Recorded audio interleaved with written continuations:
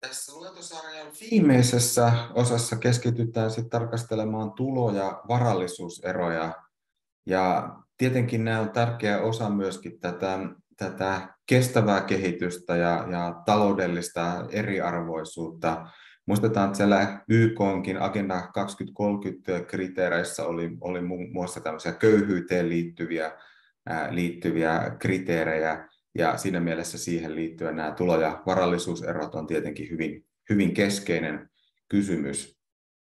No, mä otin tuossa viime luennon lopussa tämän Thomas Pikettin merkkiteoksen pääoma 2000-luvulla lyhyesti jo, jo käsittelyyn. Ja tämä myöskin tuota oikeastaan nyt sitten, jos muutitaan tätä talouskasvua pitkällä aikavälillä, niin, niin tässä kirjassaan Piketty vyöryttää hyvin paljon tämmöisiä tilastotietoa ja aika pitkältäkin aikaväliltä. Ja hän maalaa melkoisen synkän tulevaisuuden näkymän, ainakin jos, jos pysytään tämmöisessä nykymallisessa politiikassa.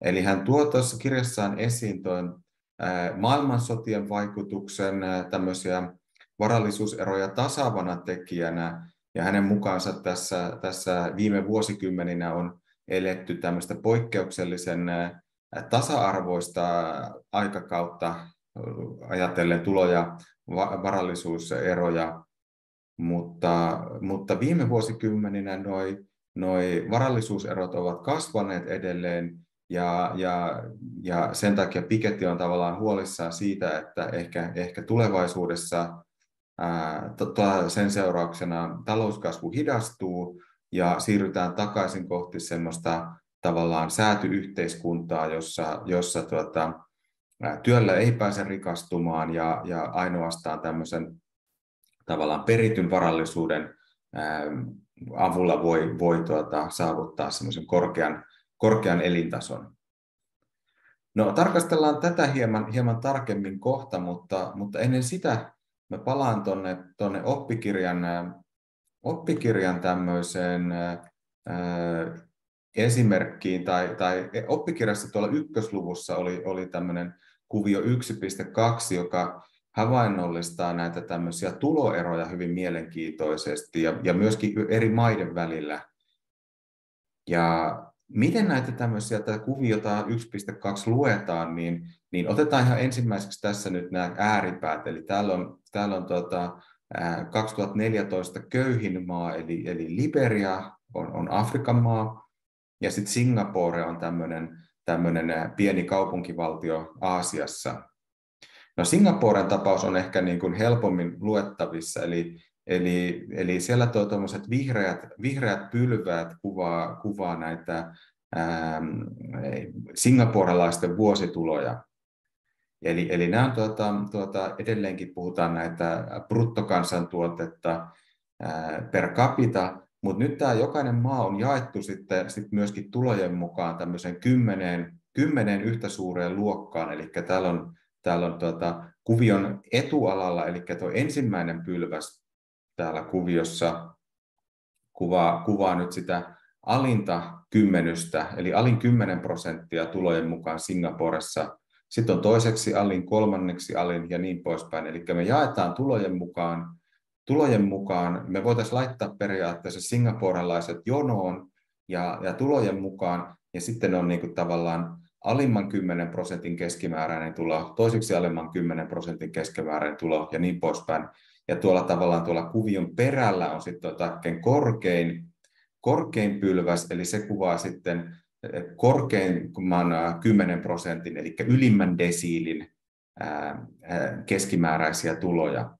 Eli näistä 10 prosentin luokista voidaan käyttää tätä nimitystä desiili, joka myöskin tuossa kuvion otsikossa, otsikossa viittaa. Eli nähdään, että Singaporen tapauksessa tuo tulojakauma on ainakin alimmissa tuloluokissa kohtalaisen, kohtalaisen tasainen, mutta sitten ehkä siellä tuo ylin, ylin desiili, kaikkein korkeatuloisimmat sit erottuu, erottuu hieman tuota, ää, omana ryhmänään. No sitten jos verrataan tuonne köyhimpään maahan, eli, eli Liberiaan, niin siellä tuskin on edes havaittavia eroja, eli siellä Liberiassa kaikkein suurimpat, suurin tuloisimmatkin ansaitsee keskimäärin vähemmän kuin Singaporen alin, alin 10 prosenttia. Eli, eli tällä tavalla tämä, tätä luetaan tätä, tätä syvyyssuunnassa tätä kuviota.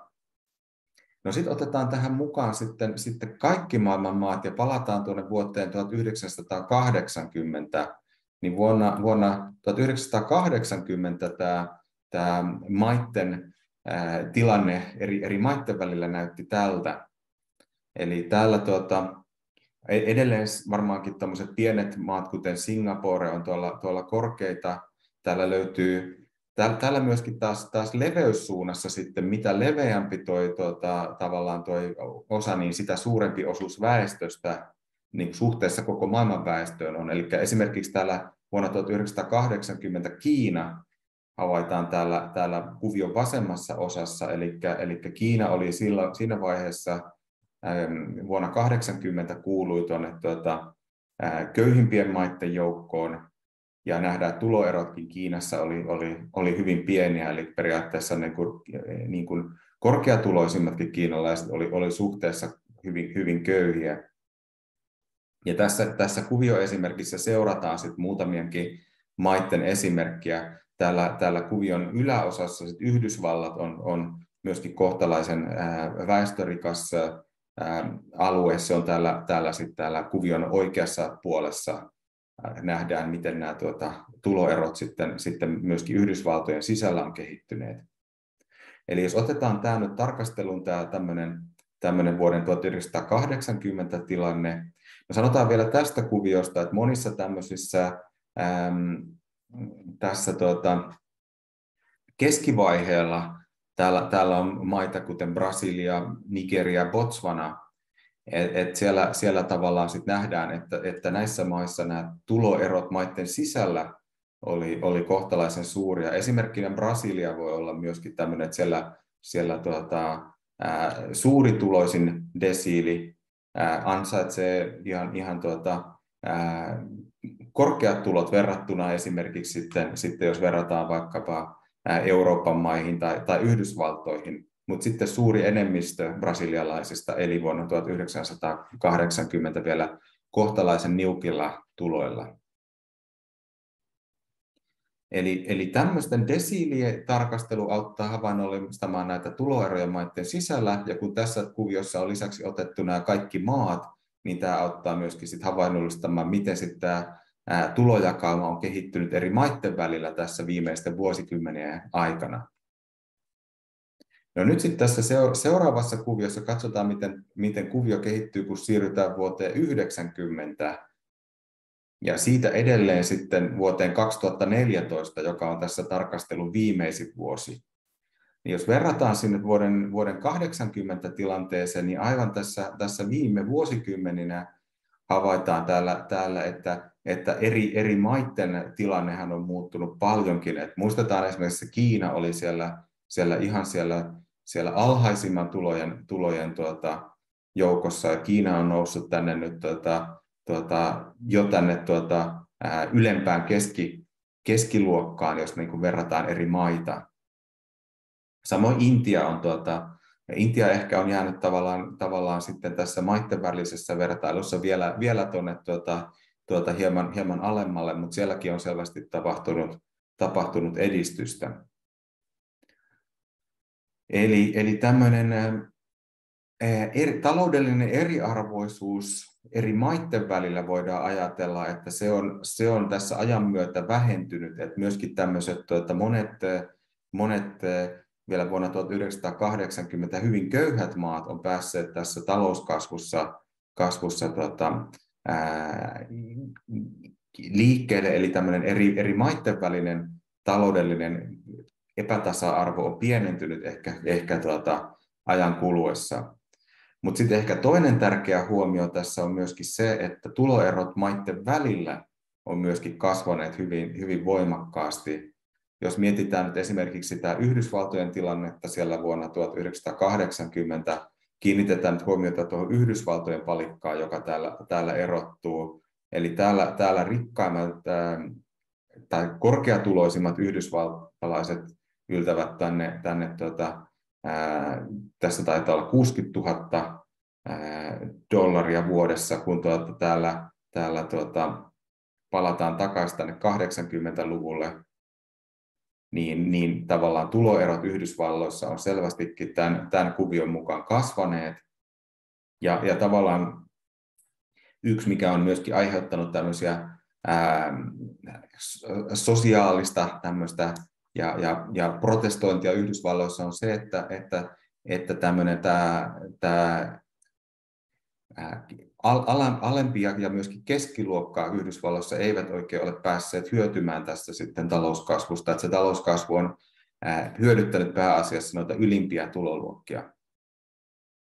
No samoin jos mietitään, mietitään Kiinaa, niin Kiinassa on tuota, myöskin nyt selkeästi havaittavassa tuommoinen iso porras tuolla, tuolla iso ylimmän, ylimmän desiilin kohdalla, eli isommat tuota, tulot Eli Kiinankin on tullut tämmöiset tuota, tuloerot verrattuna siihen vuoden 1980 tilanteeseen, jolloin kaikki oli periaatteessa köyhiä.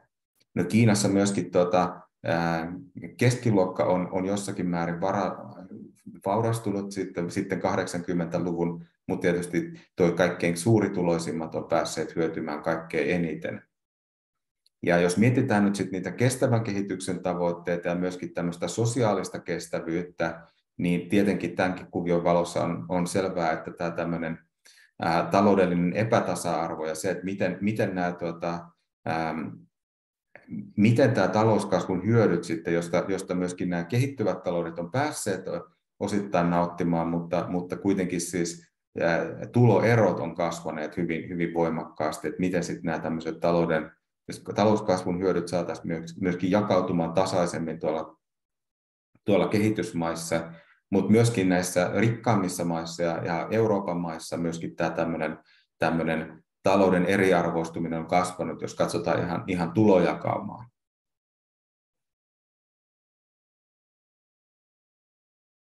Ja tämän, tämän havainnollistamiseksi myöskin tässä, tässä kuviossa sitten on, on otettu pois kaikki muut, on pelkästään kuvattu alindesiili ja ylindesiili, niin nähdään, nähdään että miten, miten tuota, tuota, järkyttävän suuret nämä erot on, on tuota, ää, paitsi, paitsi näissä kehittyvissä talouksissa, niin myöskin jos katsotaan ihan näitä Euroopan maita, Japania, Yhdysvaltoja, niin, niin totta kai tämä tämmöinen tota, talouden eriarvoistuminen on ollut iso, iso teema myöskin näissä, näissä niin sanotusti rikkaissa maissa. Ja, ja ehkä siinä mielessä, jos tosiaan niin kuin sanoin, että, että myöskin nämä kehittyvät taloudet on päässeet, päässeet tuota, paremmin ja paremmin nauttimaan näistä, näistä talouskasvun hedelmistä, jos verrataan nyt sitten näitä, näitä keskimääräisiä tuloja näissä niin sanotusti rikkaimmissa maissa, mutta katsotaan tuota alintadesiiliä ja verrataan sitten tuonne tonne keski, keskituloisten ja myöskin, myöskin jopa noiden köyhempien maiden, kuten Intia, näiden, näiden rikkaimpaan desiiliin, niin havaitaan, että esimerkiksi kaikkein korkeatuloisimmat intialaiset tienaa keskimäärin suunnilleen saman verran kuin mitä, mitä alhaisemman desiilin eurooppalaiset tai pohjoisamerikkalaiset tai japanilaiset. Eli, eli tässä mielessä tuota, tämmöinen eri maiden välinen ää, tasa-arvo on parantunut, mutta oikeastaan kaikissa maissa tämä tämmöinen maiden sisäinen ää, tulojako on, on, on ää, tai tuloerot ovat, ovat kasvaneet. No, toinen tapa hahmottaa tätä, tätä tuota, tuloeroja on, on sitten eh, tässä edelleenkin, tuota, tässä katsotaan nyt Yhdysvaltojen kehitystä ajan myötä. Ja, ja tämä kuvio on otettu nyt siitä Thomas Pikettin ää, kirjasta, ja tässä kuvataan nyt sitten tämän ylimmän Eli, eli tämän ylimmän 10 prosentin, eli ylimmän desiilin osuutta, osuutta tuosta kansantulosta. Eli kuinka suuri osuus, nyt tuota, tätä kansantulo ei ole ihan sama kuin bruttokansantuote, mutta mut, mut, hyvin, hyvin lähellä sitä. En mene se tässä nyt sitten tarkemmin, mitä, mitä eroja siihen on, mutta tavallaan, että kuinka suuri osuus siitä, siitä yhdysvaltalaisten kokonaistulosta menee nyt sitten suurituloisemmalle 10 prosentille. Ja tässä tosiaan on sitten, sitten tarkastelujaksona lähtee liikkeelle tuolta 1910-luvulta ja, ja mennään, mennään aina 2010-luvulle. Niin täällä nähdään, että kaikkein, kaikkein tuota, korkeimmillaan käytiin tuossa ennen, ennen maailmansotia tuolla, tuolla hieman ennen tuota Yhdysvalloista alkanutta pörssiromahdusta tuolla 29, eli melkein puolet kansantulosta meni, meni tuolle rikkaimmalle 10 prosentille. Mutta sitten nähdään tuo tämmöinen, mikä on oikeastaan tuossa Piketin kirjassa hyvinkin suuri teema, että miten sitten tuossa maailmansotien aikaan nämä tämmöiset tuloerot ja varallisuuserot tasaantuivat, johtuen ihan näistä sotaponnistuksista ja toisaalta siitä, että, että myöskin tuota, sodan aikana vero, verotus kiristyi ja, ja tuota, tietenkin sotaa käyvissä maissa myöskin sitten, sitten osa tämmöisestä varallisuudesta ihan sodan myötä tuhoutui myöskin.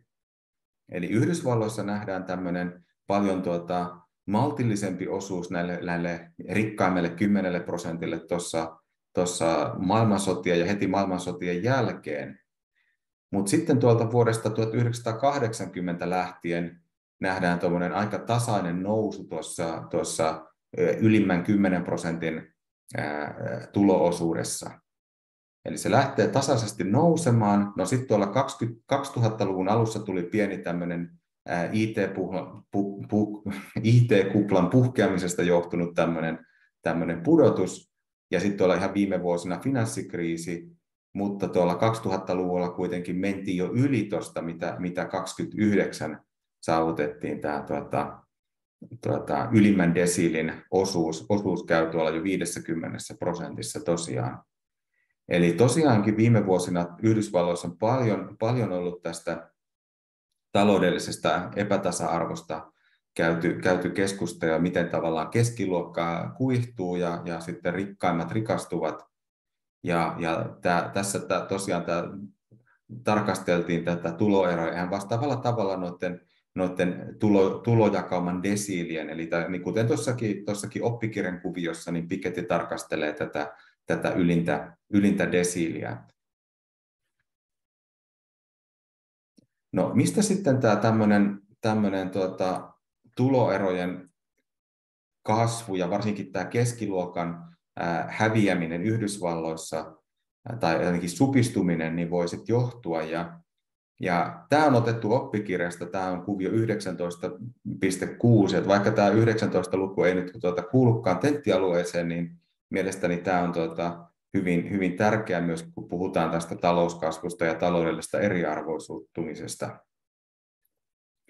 Eli tässä on otettu, otettu erilaisia ammatteja esimerkiksi, ja että mistä, mistä sitten arvioidaan, että tuossa seuraavan vuosikymmenen aikana, no itse asiassa me ollaan tässä jo tällä vuosikymmenellä, kun mitä tämä tuota, arvio oli tehty, mutta nähdään, että tällä tuota, tavallaan alempituloisten joukossa tarvitaan paljon tämmöisiä esimerkiksi kotiavustajia, henkilökohtaisia avustajia, ensihoitajia ja näin poispäin. Ja tässä syynä on varmasti paljon tämmöinen väestön ikääntyminen, eli me tarvitaan tämmöisiä erilaisia erilaisia tuota, avustajia, jotka tulotaso on yleensä kohtalaisen alhainen.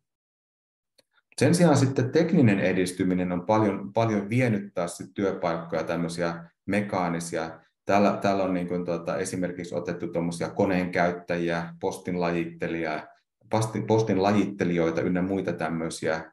Eli sitten täältä niin kuin perinteisistä keskiluokan töistä on, on, on hävinnyt paljon työpaikkoja, odotetaan häviävän myöskin. Ja missä taas sitten työpaikkoja syntyy, on sitten tämmöiset, täällä on tuota, tämmöisiä erityisasiantuntijoita, henkilökohtaiset rahoitusneuvojat, eli tämmöisissä taas asiantuntijatehtävissä, joissa on korkea palkkataso, niin, niin tarvitaan lisää, lisää työvoimaa. Eli tuossa on sitten tuommoinen vähän niin kuin C-muotoinen käyrä, että, että tuolla keskiluokan työpaikkoja on, on hävinnyt, ja toisaalta sitten tuonne ylimpään ja alimpiin tuloluokkiin taas on tullut lisää, lisää työtä. Ja, ja tämä johtuu hyvin pitkälti tämmöisestä teknisestä kehityksestä, automaation lisääntymisestä, joka sitten myöskin vaikuttaa tähän työmarkkinoihin ja tulojakaumiin. No, tämä oli oikeastaan ehkä kuitenkin tämmöinen tämmöinen ennustus vuonna 2014, eli melkein kymmenen vuotta sitten. Jos mietitään, että miten sitten Suomessa tämä tämmöinen tulojakamat on kehittyneet, niin ihan, ihan tuota, tätä, tätä videota laadittaessa tänä päivänä tuli tilastokeskukselta katsaus vuonna 2021 kokoaikaisten palkansaajien ansio, ansioihin. Eli, eli nähdään, että Suomessa tuota, toi, toi mediaaniansio 3300 ei ole kauhean kaukana tuosta keskimääräisestä ansiosta 3700 euroa. Ja Suomessa, jos puhutaan tämmöisestä palkansaajien ansioista, niin, niin nämä tämmöiset tuloerot ei ole kauhean, kauhean suuria tällä hetkellä. Ja tässäkin tilastokeskuksen julkaisemassa uutisessa on myöskin verrattu näitä ää, alinta desiiliä ja ylintä desiiliä. Eli se ylin desiili nyt on tämä parhaiten tienaava kymmenys, joka ansaitsi vähintään 5571 euroa. Sitten taas tuota, matalapalkkaisin kymmenys, eli se on se alin desiili, niin ne ansaitsi alle 2300 euroa. Eli vaikkakin tietysti ero on aika huomattava, eli yli kaksinkertainen tuon ylimmän kymmenyksen hyväksi, ja tietenkin jos me tämä kerrotaan 12, että saadaan vuosiansiot, niin, niin totta kai alimman ja ylimmän desilin välillä on huomattava ero, mutta, mutta ei, se, ei se kuitenkaan semmoinen kymmenkertainen tai monikymmenkertainen ole kuin jossakin korkeiden tuloerojen ää, maissa. Eli Suomessa tämä, tuota, tämmöiset äm, palkansaajien tuloerot on, on pysyneet kohtalaisen pieninä, mutta ehkä mistä erot tulee sitten alimpaan Tätä ei tietenkään koko väestön desiili, vaan nimenomaan palkansaajien desiili. Eli, eli tuloerot sitten tulee, tulee paljon myös siitä, että ne, jotka, jotka käyvät työssä tai eivät sitten, ovat työttöminä. Ja sitten toinen asia, mikä tässä, tässä tuota, sitten pitää huomata, kun puhutaan tuloeroista, nämä oli tuota, palkansaajia, mutta sitten mikä tietenkin, myös Piketin kirjassa tärkeä teema on, tämä ei tietenkään kerro vielä varallisuuseroista. Ja, ja nyt sitten tämä kuvio on otettu myöskin tuota, Piketin kirjasta. Tietenkin pitäisi ottaa myöskin pääomatulot huomioon. Ja, ja miten tätä kuviota luetaan, niin, niin tässä on tuota, tavallaan vähän vastaavalla tavalla, kun me ollaan puhuttu tuosta maiden velkasuhteesta, niin tässäkin nyt sitten verrataan tämmöistä niin kuin varantosuuretta ja virtasuuretta. Eli tässä, tässä on nyt sitten pääomakanta, eli mikä on tämmöinen yksityisen pääomakannan markkina-arvo suhteessa sitten, sitten kansantuloon. Eli kun me puhuttiin velkasuhteesta että, ja, ja puhuttiin, että, että semmoinen, semmoinen 60 prosentin velkasuhde oli, oli silloin tuota, tärkeä tämmöinen kriteeri, kun Euroopan rahaliittoa luotiin, ja tällä hetkellä monet maat kamppailevat 100 prosentin velkasuhteenkin kanssa, niin nyt sitten jos mietitään, että kuinka suuri osuus sitten yksityisestä pääomasta, yksityisen pääoman arvosta olisi sitten tästä, tästä tuota, yhden vuoden kansantulosta, niin, niin tämä kuvaa sitä tavalla, kuinka, kuinka iso, iso tavallaan tämmöinen pääomavaranto eri maissa on tavallaan yksityisellä, yksityinen pääomavaranto nimenomaan. Eli tässä ei ole nyt julkista pääomaa mukana. Ja tässä on otettu kolme Euroopan maata, Ranska, Saksa ja Iso-Britannia tarkasteluun. Ja, ja tuota, nähdään, että tuolla, tuolla ennen maailmansotia, eli tämä kuvio lähtee tässä, tässä liikkeelle vuodesta 1870 jo, mutta aina tuonne ensimmäiseen maailmansotaan saakka kaikissa noissa kolmessa suuressa, suuressa Euroopan, Euroopan tämmöisessä talousmahdissa, niin, niin äh, oltiin päälle 600, jopa yli 700, äh, 700 prosenttia tästä vuotuisesta kansantulosta oli tuo, tuo pääomakannan arvo. Mutta sitten ensimmäisen maailmansodan seurauksena ja, edelleen toisen maailmansodan seurauksena sitten tämä pääomakanta hyvin, hyvin paljon tätä pääomaa tietenkin näissä sotaa käyneissä maissa tuhoutui, taikka, taikka sitten myöskin, myöskin, jos siihen ei pystytty pitämään yllä investointien kautta, niin, niin tämä pääoma, yksityisen pääoman arvo romahti. Tässä voi myöskin olla tavallaan hintojen romahtaminen osittain, osittain seurauksena esimerkiksi kiinteistöjen arvojen aleneminen ja näin poispäin. Eli sitten kaikkein alintaso saavutettiin sodan jälkeen tuolla vuonna 1950 kaikissa näissä kolmessa vertailussa mukana olleessa maassa. Ja, ja tuolla esimerkiksi Saksassa, Saksa tietenkin oli, oli tuota, häviävänä osapuolena sekä ensimmäisessä että toisessa maailmansodassa, joten siellä varsinkin tietysti pääomaa tuhoutui, tuhoutui hyvin paljon. Ja päädyttiin sitten alle 200 prosentin tästä, tästä vuotuisesta kansantulosta. Ja, ja nähdään myöskin, että, että Iso-Britannia saarivaltiona taas sitten säästyi, säästyi hieman paremmin kuin Ranska tai Saksa näistä, näistä sodan, sodan tuhoista. Kaikissa näissä kolmessa maassa sitten vuoden 1950 jälkeen tietenkin alkoi, alkoi tuota, jälleenrakennus ja, ja pääoma alkoi, alkoi karttua. Ja nähdään, että sitten vuoteen 2010 mennessä varsinkin tuolla tuota, Ranskassa, ja, mutta myöskin Britanniassa, niin aletaan jo hätytellä tuota, ennen ensimmäistä maailmansotaa ollutta tasoa. Eli tässä, tähän perustuu tämä Piketin argumentti, että tämä tämmöinen pääoma, yksityinen pääomakanta ja pääoma kasautuu ja, ja, ja tavallaan se kasvaa nopeammin kuin toi, toi mitä talouskasvu, joten, joten sitten sit myöskin tuota nähdään, jos mietitään sit tätä, tätä varallisuuden kertymistä ja tämmöisen niin kuin taloudellisen epä, epätasa-arvon kasvua varallisuuden mielessä, niin myöskin sitten sit tässä, tässä on otettu sitten, sitten tuota, Ranskasta, Ranskasta miten, miten sitten perintöjen osuus on tuota kansantulosta kehittynyt. Eli sitten tämmöinen peritty varallisuus tietenkin aiheuttaa siinä mielessä Ähm, epätasa-arvoa, että jos, jos on niin käytännössä tämmöisellä omalla palkkatyöllä mahdotonta rikastua, että täytyy olla perittyä varallisuutta, niin voidaan, voidaan päätyä semmoiseen luokkayhteiskuntaan, että on semmoiset varaka, varakas luokka, joka, joka elää, elää tavallaan eri, erillisessä todellisuudessa kuin sitten tämmöiset palkkatuloilla elävä kansanosa.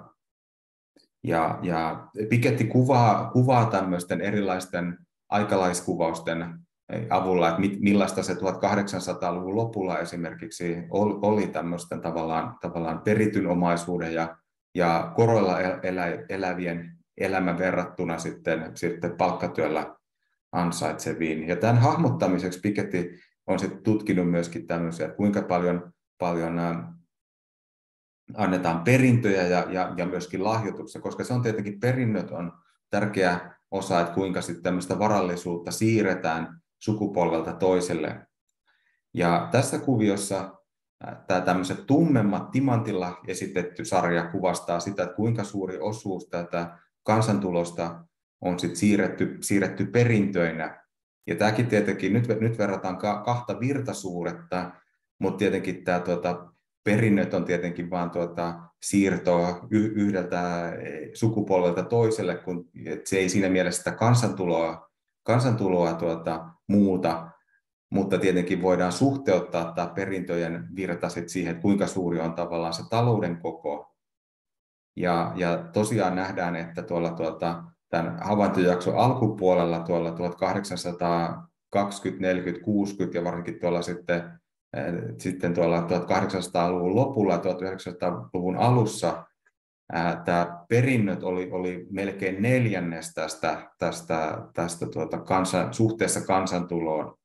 Mutta samalla tavoin kuin se varallisuus, yksityinen, yksityinen tuota, pääoma romahti tuossa tuossa tuota, maailmansotien seurauksena, niin samalla tavalla tietenkin se vaikutti näihin perintöihinkin, että, että sitten perintöjen perinnöt suhteessa kansantuloon myöskin romahtivat aika rajusti.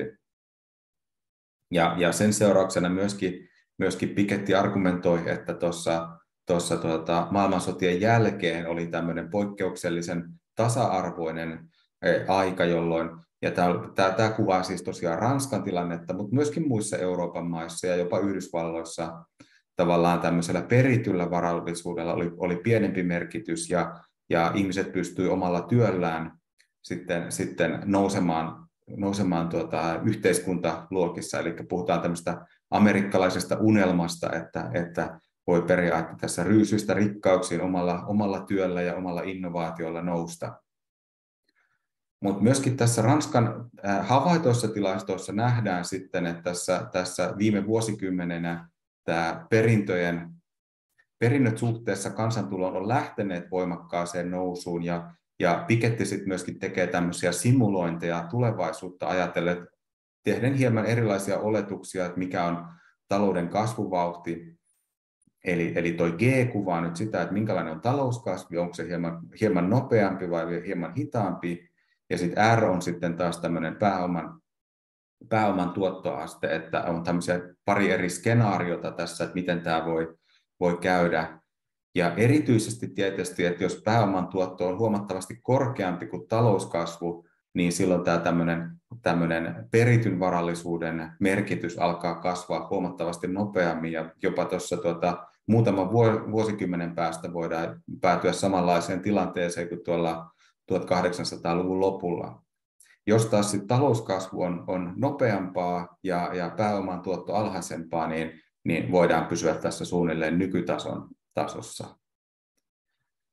Ja, ja tietenkin tota, mikä paljon oli sitten otsikoissa, niin, niin, niin ratkaisuksi tämmöiseen tavallaan eriarvoistumiseen Piketti esittää tämmöistä perintöverotuksen kehittämistä. No, pitää muistaa, että esimerkiksi Suomessa tuota, perintöverosta on myöskin paljon, paljon keskusteltu ja, ja itse asiassa toisinpäin, että, että, että, että monet ihmiset kannattaisi mieluumminkin tuota perintöveron poistamista kuin sen, kuin sen korottamista. Ja tietenkin, tietenkin tuota, perintövero saattaa tuntua tämmöiseltä hieman, hieman kaksinkertaiselta verotukselta, kun monesti varsinkin palkkatyöllä ansaitut rahat, niistä on jo kertaalleen tuloverot maksettu ja ansiotuloverot ja, ja sen jälkeen, jos se vielä jättää seuraavalle sukupolvelle sitä osan, niin, niin tuota, tuota, joutuu vielä maksamaan perintöveroa, että se saattaa tuntua aivan, aivan kohtuuttomalta. Mutta mistä oikeastaan Piketti puhuu on tämmöisestä hyvin, hyvin korkeasta perinnöistä, kun puhutaan tosiaan tämmöisestä miljoona- tai miljardiluokan perinnöistä, jotka on tämmöisten kaikkein varakkaimpien ihmisten, ihmisten perinnöt, joista tavallaan tämä tämmöinen taloudellinen ja varsinkin varallisuuden suhteen epätasa-arvo sitten viime kädessä kumpuaa. Mutta tietenkin täm, tämmöisissä kysymyksissä tarvittaisiin parempaa koordinaatiota eri maiden välillä. Et jos, jos esimerkiksi Suomi lähtisi pienenä maana yksipuolisesti korottamaan perintöveroa varsinkin rikkaille, niin, niin saattaa myöskin tulla, tulla sit seurauksena, että et sit kaikkein, kaikkein varakkaimmat sit muuttaa, muuttaa johonkin toiseen maahan. Esimerkiksi, esimerkiksi joitakin vuosia sitten oli, oli tuota, ää, esimerkki, kun ää, Björn Wahlroos ää, ymmärtääkseni ihan tämän, tämän tuota, perintöveron takia ää, muutti, muutti Ruotsiin.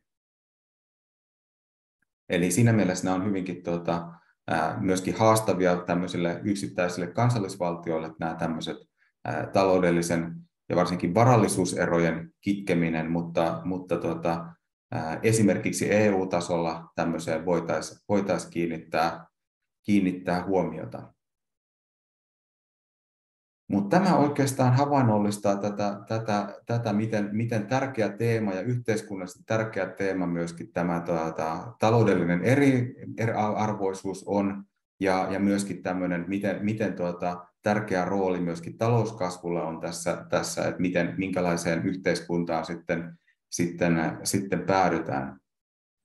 Eli päätän nyt sitten tämän, tämän luentosarjan tähän. Toivottavasti olette, olette tuota, kokeneet tämän, tämän mielenkiintoiseksi ja, ja innostavaksi ja toivon, että, että jatkatte myöskin taloustieteen opiskelua mahdollisesti jollakin muilla kursseilla. Kiitoksia ja näkemiin.